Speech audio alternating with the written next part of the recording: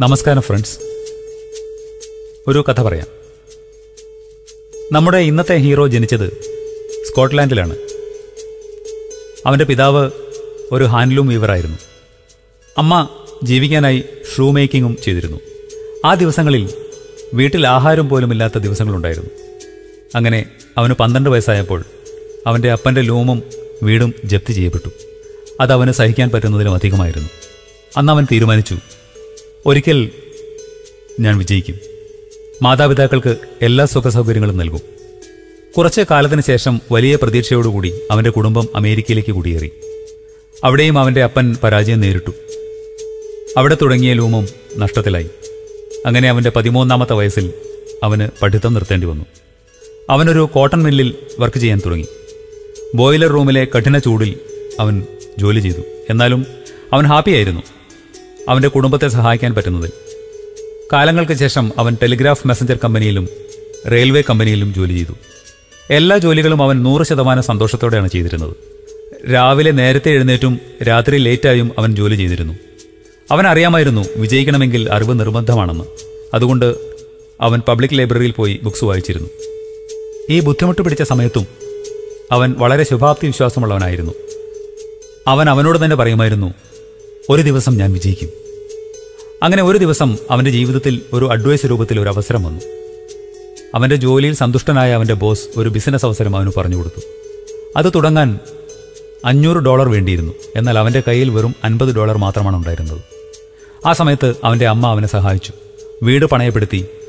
മോൻ തീർച്ചയായും വിജയിക്കുമെന്ന് ഉറച്ചു വിശ്വസിച്ചുകൊണ്ട് അവൻ അഞ്ഞൂറ് ഡോളർ കൊടുത്തു. ആ ഇൻവെസ്റ്റ്മെന്റ് വലിയ വിജയമായി എന്ന് മാത്രമല്ല അവൻ അവന്റെ വിജയത്തിന്റെ വഴിയും കണ്ടുപിടിച്ചിരുന്നു. അവൻ ബിസിനസ്സുകളിൽ പൈസ ഇൻവെസ്റ്റ് ചെയ്യാൻ തുടങ്ങി. ഫസ്റ്റ് ഇൻവെസ്റ്റ് ചെയ്ത് മുപ്പത് വർഷം കഴിഞ്ഞപ്പോഴേക്ക് ആ കോട്ടൺ മില്ല് വർക്കർ ലോകത്തെ തന്നെ ഏറ്റവും വലിയ പണക്കാരനായിരുന്നു. അവൻ ലോകത്തെ ഏറ്റവും വലിയ സ്റ്റീൽ ഫാക്ടറി ഓണറായി മാറി. പക്ഷേ വളരെ പെട്ടെന്ന് അവന്റെ അമ്മ മരിച്ചു. അത് അവനെ വല്ലാതെ വിഷമിപ്പിച്ചു. അന്ന് അവൻ ഒരുപാട് കരഞ്ഞു.